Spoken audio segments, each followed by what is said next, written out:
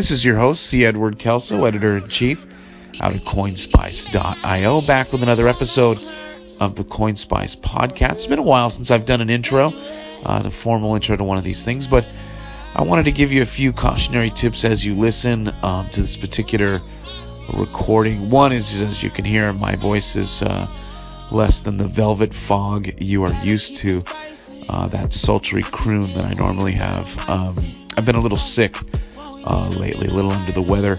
Uh, does not stop the spice, it must flow. Um, so I apologize for that. I'm sure it's not fun to listen to, but I had a chance to record with uh, Cindy Wang, uh, direct from mainland China, and she's a cryptocurrency journalist that I think most of you probably know, or at least are relatively familiar with. Uh, she does a lot of translation work. Um, she's very cued in to the uh, peer-to-peer electronic cash community there in China. And I know this sounds really stupid, but when we started recording, I'd kind of forgotten about the coronavirus. Now, I, some of you are probably shaking your head like, what is wrong with you? Um, and I agree with you. Like, uh, I kind of forgotten. I didn't forget, but it seemed to me like sort of beside the point. Like I just kind of wanted to get on with talking about crypto and things China, and I soon realized how ridiculous that was. And so as you're hearing the conversation, I stumble a lot. Now, if you're a regular listener, I stumble all the time, so that's nothing unusual. But I stumbled quite a bit in this interview, and, and I'm sorry that it's flat. It has nothing to do with Cindy Wang. Uh, she's perfectly uh, wonderful, and uh, normally she and I laugh and have a great old time. And uh, but you'll hear, uh, I kind of find it hard to talk about cryptocurrency when someone's quarantined. I don't know. It just puts it in perspective. Uh, to her credit, Cindy, you know, tries to connect it, and, and, she's a great sport, and she tries to make the interview relevant to uh, cryptocurrency and why we would want to talk to her on CoinSpice. Um, but um, yeah, I, I, think you'll hear there's there's a definite lack of verve and joy that, that I normally bring and, and guests normally bring uh, to the podcast, just due to the seriousness of what she's going through, as, as you'll hopefully listen. Uh, so I wanted to let you know that that's what's going on, uh, that it's all me, that I suddenly, it dawns on me that geez, maybe crypto's not the most important subject to talk to Cindy about right now. Uh, but uh, in any case, uh, that's what you're about to listen to. It's um, arguably one of the most important episodes I've ever recorded. Uh, gives you an on the ground sense of really what's happening in mainland China right now and uh, what it might mean for cryptocurrency without being exploitive, you know, without uh, trying to take advantage of the situation. On, honestly, I, I totally forgot. Like it was kind of I was going to do it in passing, and then you know obviously it, it tends to take over the conversation. In the show notes, uh, do me a favor, do CoinSpicers a favor. Uh, Cindy's uh, Bitcoin Cash address is there. Uh, if you've got a little bit of change, uh, you don't mind sending her away. Uh, that would be very, very cool of you. she does amazing work to bring Bitcoin Cash and peer-to-peer electronic cash literacy to the Chinese community and boy, could she use your help. Um, I think that's all I'll say there. I, I don't want to give uh, too much away about her personal situation, but safe to say she's going through it, fellas. So, anyway, without any further ado, here is the episode. Thanks so much for listening. Thanks so much for supporting, and thanks so much for forgiving my uh, my lackluster performance in this. All one. right, so we're back, and we've got the great Cindy Wang. She's a crypto journalist. She's been around for a while and you probably know her work or have seen her work or have at least been uh, impacted by it, maybe without even knowing it. Uh, she's a translator as well, and she's based in China right now. But before we get too much further into all of that, first off, Cindy, thanks so much for coming on the show again. Hello, Kelso, and every corner who is listening to the podcast. It's Cindy. so great to have you back on. Um, now, you know, obviously you're in China and you're not in Hong Kong, you're on the mainland, right? Yes. How, you know, the the coronavirus, the the novel coronavirus, uh, we hear a lot about it here in the United States and around the world, but uh, you're actually living uh, with its uh, with its impact. Uh, how's life there? How how are you being impacted by it? Uh, well, first of all, we can only go outside three times a week to buy some life necessities. And second, oh, there are nowhere to buy masks, so we better stay at home because you are not sure who has the virus outside. And uh, the officials are still haven't reached agreement about how the virus being spread. It's like one day they say it is spread by uh, saliva, and the next day it becomes simple touching. And now they say it can be spread by air, so we better stay at home. But I actually think uh, the virus is good for the crypto space. You think it's good for the crypto space? Yes. And and and so how many? So before we we get into why it might be good for the crypto space, um, how many days have you been inside? Um, the uh, the officials asked us to stay at home for two weeks, but actually it's been 20 days. Wow, you've not left uh, your your home for 20 days. Yeah, 20 days. And for those employees who went back to their hometown and now they come back to city and they want to work, they need to stay uh, at home for another two weeks before they can go back to job. Oh my goodness. Oh my goodness. Unreal. Um, so you you said that that it might be the the situation in kind of a strange way might be good for crypto. Why why do you say that? Um, be- because generally after the Chinese Lunar New Year, um, there would be capital pour into the stock market. But now, as all companies are closed, and the stock market has a really bad performance, so investors are looking for alternatives, and I believe cryptocurrency is definitely one of it. This is probably why we see this recent jump. Wow, I would have never thought that. That's that's really insightful.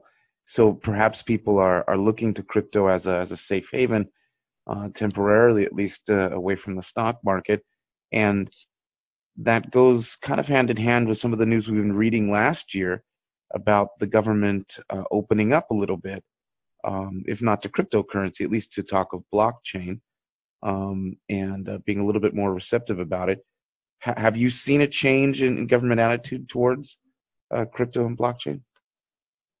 Yes, and uh, let's take this uh, coronavirus for example. So in this event, a lot of people want to donate money to people who has the disease and to people uh, locked in Wuhan but they don't trust the Red Cross and other charity organizations. Mm. And there are actually officials who propose to use blockchain technology to treat where the capital goes. This is definitely a good thing for the blockchain industry. Right. And as you were talking, I was thinking it also eliminates kind of the need for, in terms of uh, regular sort of hard, I guess, paper money uh, the need for person-to-person interaction. So it actually could be safer to to transact in crypto, right? Yes, and actually last year we see a lot of uh, provinces are encouraging people to um, to start up with blockchain related businesses and they have blockchain industrial parks. Wow. And does that necessarily mean that they're because in the United States and in the West, we sometimes use blockchain as a euphemism, um, as a placeholder for crypto because businesses don't like the the word cryptocurrency, so they just sort of cover it up with blockchain. Is that kind of what's happening here, or or am I I'm missing something? Uh, I don't think so. I, I see after the Xi Jinping's speech last year, local governments are really trying to attract some blockchain talents. And and does do you think they're going to open up more to crypto? Um, I'm not sure about that, but yeah. actually, um, we see a lot of unexpected events in the beginning of 2020, like uh, the conflict between America and Iran, and now the virus in Mhm. China. So um, I I think more people will seek crypto as safe saving assets, right? And actually, we see um, topics like Bitcoin. Uh, I see topics such as Bitcoin reached uh, uh, ten thousand dollar again. It's now actually a trending social topic on Chinese Weibo. Mm, So that means more common people will see words like Bitcoin and other coins, mm, maybe more and more this year. That's really interesting. And in the Bitcoin Cash community, um, we had a, a bit of a, an interesting happening when uh, the BTC top um, mining pool founder, um, I think I, I always mispronounce his name, but I believe it's Zhang Zhuo. Is that right? Yes, Jiang Zhuo'er. Zhang Zhuo. And he proposed the infrastructure funding plan for Bitcoin Cash, and it got uh, quite a reaction uh, in the West. And before we kind of get into your feelings about it, um, he, I, I think in the beginning, uh, if people aren't familiar, when he when he first wrote it, uh, he basically talked a lot about uh, Chinese philosophy, um, political philosophy especially, and um, how he was trying to move the community from um, talking, talking, talking all the time, which is kind of what Westerners do. They like to sit around and talk about things rather than do th- something. And so I, I Mhm. believe what he was trying to say was that you know the time for talking maybe is over, and we should experiment with something. Um, but how he said it was the sort of the the no debate theory, and uh, Yes. we we won't debate it. Um, now you are obviously Chinese, you live in China, but you've also had a lot of dealings uh, with Westerners. Uh, do did, did you see the conflict right away in, in, in what he was trying to say versus how it was received in the West? Um, about the Bitcoin Cash mining development plan, because I ask people to vote for or against on Chinese social media, and I also checked the messages on Twitter and Telegram groups.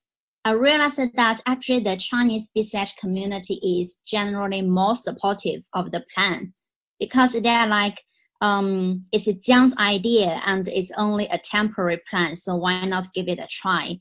And we all know we already abandoned a similar plan last year in Hong Kong. So we got to make this happen. But the Western side is more like, ah, the plan is uh, so out of blue. It, it is so sudden. It is done without a wide community discussion. And they worry the miners want to um, want to control Bitcoin Cash by this proposal. So I, I really see a huge gap between these two communities. It is interesting. And so f- I saw on uh, Twitter you were uh, uh, you were attempting to translate um, some of the articles from Read.cash and, and other places uh, for the Chinese community. And so you found the the Chinese uh, uh, to be more receptive to a funding plan of some kind, right? Yes, definitely. But but I think one of the reason is that Jiang Zhuo'er is really influential in the Chinese Bitcoin Cash community, and people tend to listen to him. And because he is a big miner, he is a big Bitcoin Cash miner, so people generally don't question his intention because we believe no matter what he did, it it must be uh, be that he wants to he wants Bitcoin Cash to have a bright future.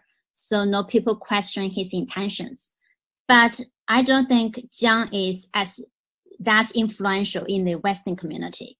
So that's why people tend to question his intention and they worry he wants to control Bitcoin Cash.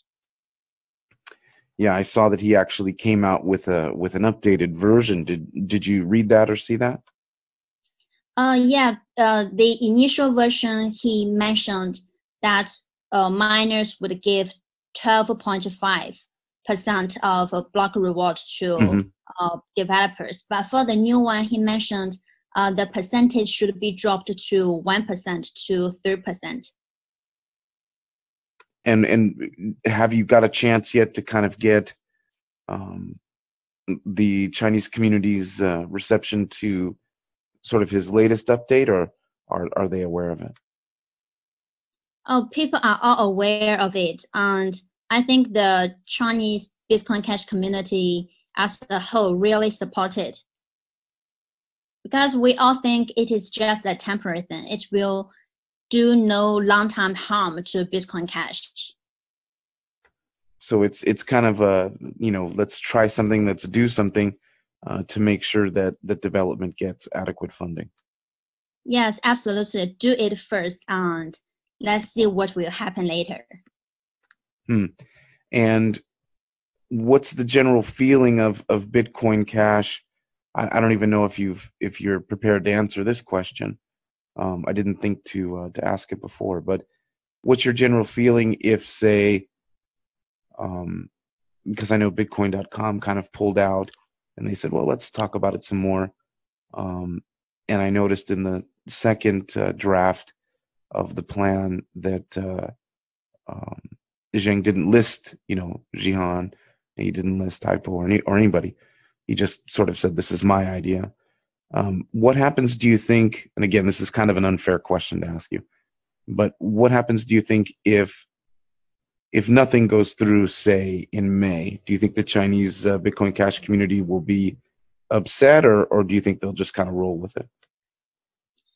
I think people will be really upset because I can see people talk about the plan in WeChat groups every time, uh, every night. They're like, why all this wide and tedious discussion? Why not just do it first? So I think if people, if the proposal failed again, it will definitely greatly undermine people's confidence. Yeah, I can see that. I can see that being a danger. And what's the general feeling towards Bitcoin Cash as a whole? Um, are people liking it, or are they moving off of it in China? Um, are they embracing it more, or does it all have to kind of come down to uh, the, the, funding proposal? Mm, well, because Bitcoin Cash, uh, the price of Bitcoin Cash has been rising since the beginning of 2020. So I realize more people are becoming embracive to Bitcoin Cash. And recently, um, I got a new title. What's that? Uh, it's a Chinese uh, crypto forum called Bihu. It's, it's something like a combination of Steemit and Reddit. And Bihu uh, recently opened a Bitcoin Cash subforum and invited me to work as moderator. I've been um, updating some articles about Bitcoin Cash on the forum in the past uh, 52 days, and now I have 1,400 followers. So I think, wow. yes, 100, 1,400 followers in 52 days. So I believe um, more people are becoming posit- uh, positive to Bitcoin Cash. And and you see this as having to do pretty much with with the price. Um, wh- what would you say? I mean, does it does the popularity then in China for cryptos kind of follow um, their price or their market cap? Would BTC be number one, and then Ethereum, and then Ripple, and so on and so forth? Um, BTC is always number one because we have a lot of hodlers um, who always believe the price of Bitcoin will uh, be to the moon. But Ethereum, um, Ethereum actually, Ethereum followers is kind of following because this year we see more um, really weird coins like BSV has been pumping in a really weird way, and it kind of uh, draws a sec draw attraction of attention away. So I think uh, Ethereum is now Ethereum followers are definitely following. And Ripple, we don't have uh, too much too many people talk about mm. Ripple in China. That's interesting. Oh, but we have uh, but recently OKB, the exchange token of OKEX, is also mm. a hot topic. And and why is that? Um, because OK OK OK token has uh, used to have one billion in total, but uh, they recently announced to destroy 700 million. So it means it only has 300 million now. Hmm. So so the inflation rate is is dropped quite a bit, and I guess Yes. people are kind of betting that it'll it'll retain more value that way. And uh, OK always have a good relationship with uh, governments in Beijing. So people are now really see bullish on OK token. Hmm. And do you think going forward that's going to be the key for uh, for cryptocurrency projects in China is to have uh, a good relationship with with the government there? Mm, well, it's a hard question because for startups, it's important for them to get uh, investment. But for uh, uh, for industrial players like exchanges, they definitely need to keep a good relationship with governments. Uh, just like Huobi, they now moved their office to Hainan Mhm. because governments ask them to do so. Hmm. And what's the uh, the the general status of of mining in uh, in China? Um, we always hear um, about different uh, things going on. Is it is it still doing well? Is is mining still a, a big industry there? Well, I think Jiang Zhuo'er uh, posted something like his uh, one of his mining farm uh, is violently shut down because of the Mhm. uh, coronavirus. That definitely caused some uh, panic. But I think the mining business in whole um, is doing great. It's doing great for the moment, just for the moment. But the the virus could could change things, huh? Um, yeah, the virus could change the mining business mainly in two ways. Um, first, as many city, as many cities are under lockdown, that means mail service will be delayed. And since employees need to work at home, it would be become difficult for them to assemble and expand new machines. So mining manufacturers are facing delays in both, uh, both in delivery and production.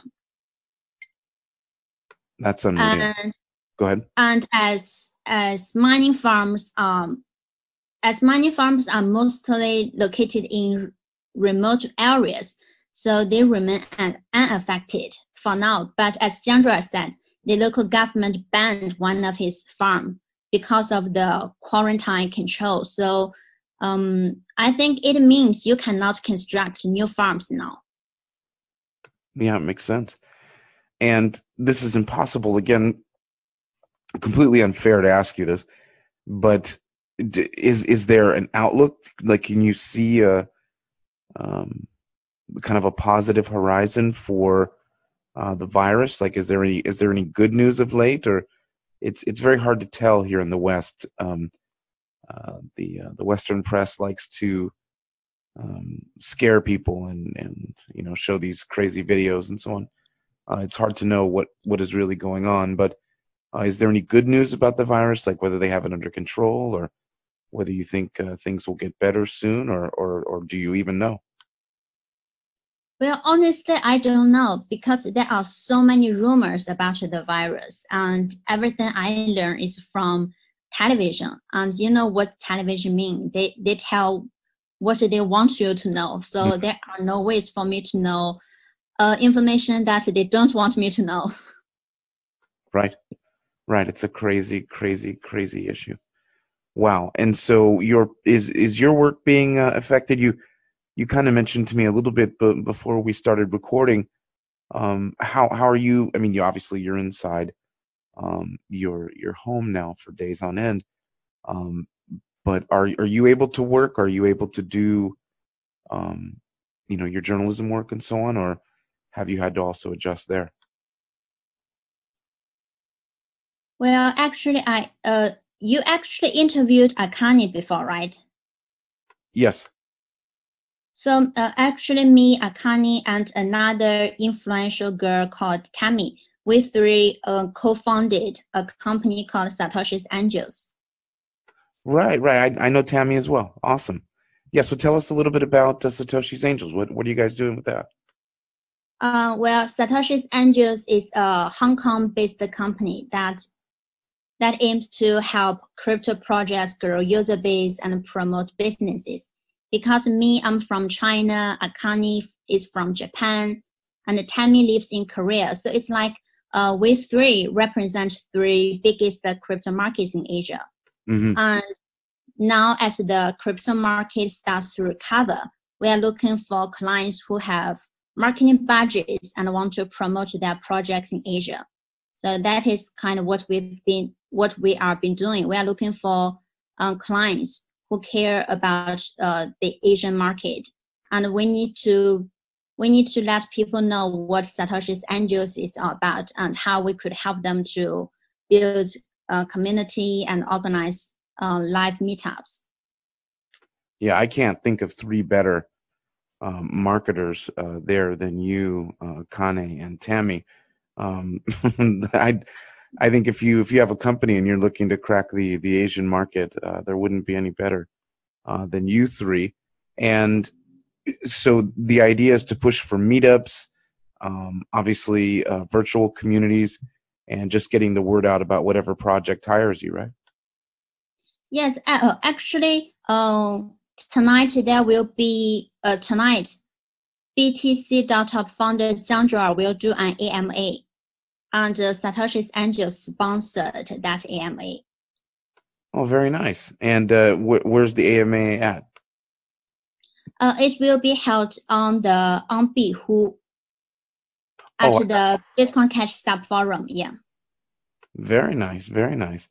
And this is kind of what you guys offer. You offer a, a way in. So if um, there are Westerners who are looking to um, make their uh, make their entry into uh, Asian markets, uh, you guys would be the place to go to.